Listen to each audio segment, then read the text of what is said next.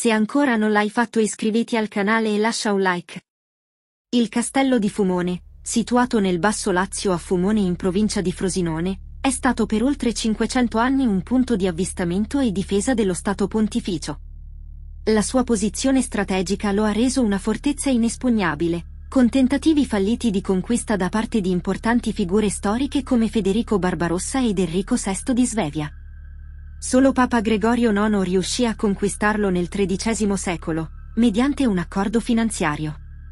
Tra gli episodi più significativi legati al castello, si ricorda la prigionia e morte di Maurizio Bordino, noto come Antipapa Gregorio VIII, nel 1121. Un altro evento importante fu la prigionia del Papa Celestino V nel 1295. Dopo dieci mesi di prigionia, il pontefice morì a Fumone, conferendo alla fortezza anche un significato spirituale. Nel corso del XVI secolo, il castello perse la sua importanza militare e iniziò a decadere. Il Papa Sisto V decise nel 1584 di conservare l'edificio come luogo di memoria storica, affidandolo alla famiglia nobiliare Longhi di Roma. Questa famiglia trasformò gradualmente il castello in una residenza, che ancora oggi è di proprietà privata e abitata dagli eredi. La struttura del castello include un museo con reperti archeologici e un giardino pensile, realizzato nel 600 dalla famiglia Longhi. Questo giardino sospeso, esteso su 3500 m2, è uno dei più grandi in Europa ad un'altitudine sopra gli 800 metri sul livello del mare. All'interno del castello sono conservati due luoghi legati a Papa Celestino V, una cappella costruita in sua memoria nel XVIII secolo e la cella in cui fu rinchiuso per dieci mesi. Durante la visita al castello, è possibile conoscere la storia tragica del marchesino Francesco Longhi e della sua madre duchessa Emilia Caetani, legata al suo figlio defunto e al quale fece imbalsamare il corpo. Il castello ha ricevuto la visita di Papa Paolo VI nel 1966, che ha deposto una croce votiva in memoria di Celestino V.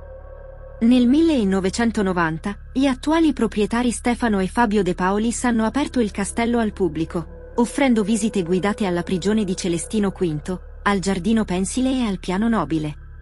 Nel castello di Fumone, si narra la triste storia del marchesino Francesco Longhi, un bambino la cui scomparsa rimane avvolta nel mistero. La sua morte avvenne in circostanze misteriose, tanto che non si esclude la possibilità che sia stata causata da una malattia non diagnosticabile all'epoca.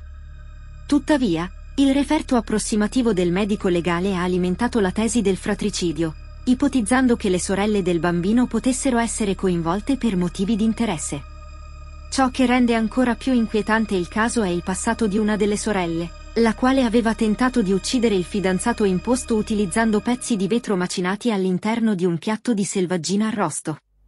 Questo oscuro episodio ha sollevato sospetti sul comportamento delle sorelle Longhi e sulla loro presunta responsabilità nella scomparsa del piccolo Francesco. Le sorelle, avide dell'eredità che spettava al fratellino, decisero di agire in modo nefasto. Dopo la morte del marchesino Francesco, le sorelle iniziarono a diffondere voci sul fatto che il bambino fosse stato avvelenato da qualcuno che voleva impadronirsi della sua eredità. Iniziarono così ad insinuare che la madre, la marchesa Emilia Caetani Longhi, potesse essere coinvolta in questo presunto omicidio. Le voci infondate si diffusero rapidamente tra la popolazione locale e il castello della famiglia Longhi fu oggetto di pettegolezzi e sospetti. La marchesa Emilia, devastata dal dolore per la perdita del figlio e dal sospetto dei suoi stessi familiari, decise di chiedere che il corpo del marchesino venisse imbalsamato per preservare la sua memoria e dimostrare la sua innocenza. Il corpo del piccolo Francesco Longhi venne quindi preparato per la conservazione, utilizzando tecniche di imbalsamazione tradizionali dell'epoca. Il bambino venne vestito con i suoi abiti migliori, il volto venne ricoperto di cera per preservarne le fattezze e venne collocato all'interno di una teca di vetro all'interno di un armadio nel castello di famiglia. La madre del marchesino, devastata dal dolore e incapace di accettare la tragica perdita del figlio, decise di far imbalsamare il piccolo Francesco. Per il resto della sua vita, lo trattò come se fosse ancora vivo, prendendosi cura di lui nel modo più attento e amorevole possibile. Lo vestiva, lo spogliava, lo lavava e gli parlava, continuando a condividere con lui ogni istante della sua esistenza. È ancora possibile osservare la mano destra del bambino, corroso dalle lacrime che la madre versò accanto a lui per tutti quegli anni di dolore e rimpianto. Dopo la scomparsa del suo adorato figlioletto, la marchesa Caetani Longhi cadde in uno stato di profonda prostrazione che la condusse sull'orlo della follia. La perdita del bambino la gettò in uno stato di disperazione che non riusciva a superare, e decise di non seppellirlo mai, convinta che così avrebbe potuto continuare a tenerlo vicino a sé. La marchesa non accettò che il figlio dovesse essere separato da lei, e così prese la drastica decisione di sistemare il corpo del bambino in una vetrina appositamente allestita per lui. Lì, accanto ai suoi giocattoli preferiti, il piccolo sembrava quasi dormire nella pace eterna, custodito amorevolmente dalla madre che non riusciva ad accettare la sua morte. Questa strana e inquietante abitudine della marchesa destò scalpore tra i suoi parenti e conoscenti, che la osservavano con occhi preoccupati mentre continuava a prendersi cura del figlio defunto come se fosse ancora in vita. La marchesa passava ore a parlare con il bambino immobile nella vetrina, raccontandogli storie e cantandogli ninne nanne come se lui potesse ancora ascoltarla. La storia della marchesa Caetani Longhi e del figlio ritrovato nella vetrina divenne presto un racconto popolare tra i cittadini del luogo, che ancora oggi ricordano con orrore la triste fine di una madre che non riusciva ad accettare la morte del suo piccolo.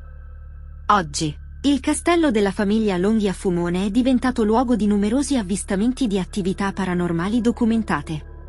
Testimonianze raccontano di una figura femminile che piange e si aggira tra le antiche mura del castello, mentre altri visitatori sostengono di aver visto lo spirito di un bambino che gioca con pietre laviche. Alcuni visitatori affermano addirittura di aver notato lievi movimenti e cambi di espressione nel bambino imbalsamato, fenomeni che gli esperti attribuiscono a fattori ambientali come umidità, calore e pressione, oltre che all'effetto di suggestione sui visitatori.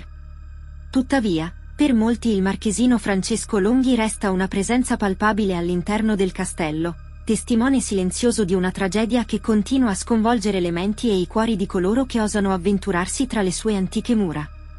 Negli anni successivi, il corpo del marchesino Francesco Longhi divenne oggetto di leggende e superstizioni. Si raccontava che di notte il bambino si muovesse all'interno della teca e che il suo spirito tormentato vagasse per il castello in cerca di giustizia. Ancora oggi, a oltre 200 anni dalla sua morte, il corpo imbalsamato del marchesino Francesco Longhi è custodito gelosamente nel castello di Fumone. Le visite al castello sono limitate e il corpo del bambino è sempre al centro di attenzioni e misteri. Testimoni parlano di aver visto presunte presenze di possibili fantasmi nel castello e anche quella di un piccolo bambino presumibilmente era quella di Francesco Longhi il giovane marchese morto precocemente. La storia del marchesino Francesco Longhi continua a suscitare curiosità e fascinazione tra coloro che si avventurano nel castello di Fumone.